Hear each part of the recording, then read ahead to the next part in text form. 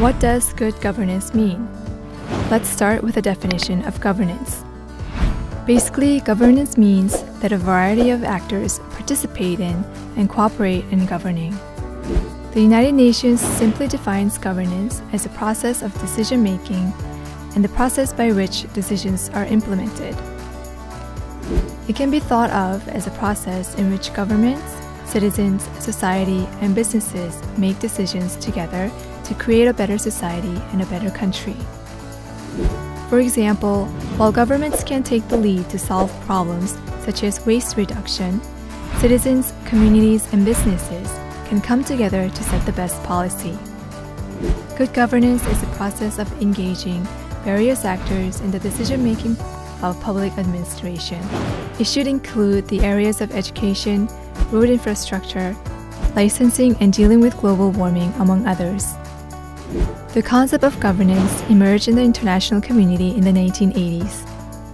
The World Bank first introduced the concept of governance in a study they released in 1989. Then, in a 1992 report, the World Bank defined governance as the manner in which power is executed in the management of a country's economic and social resources for development.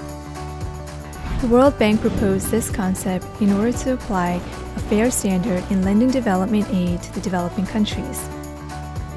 Since World War II, many countries have implemented state led economic policies.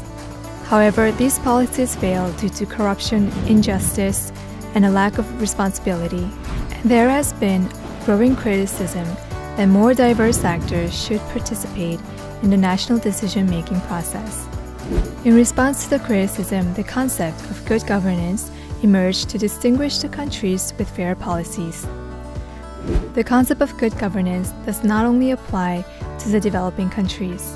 In order for all mankind to live in harmony, all countries, societies, and citizens must pursue good governance.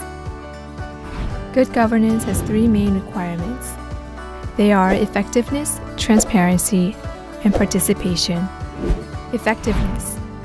We expect government to achieve results and use resources wisely. No money should be wasted in all public areas, including education, social welfare, and medical care. Transparency. All citizens should be able to see why and how government makes decisions. We should have access to explanations about government votes, policies, budgets, and campaign finance information. Participation.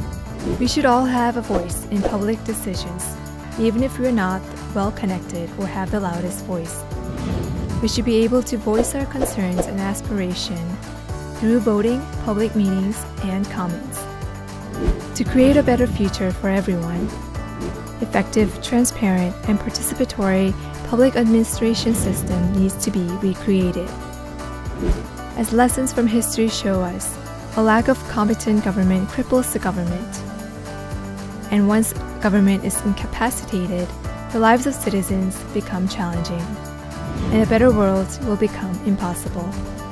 Good governance is a global discourse, and at the same time, it can be our story in our own country. What does good governance mean to you? What can we do for good governance?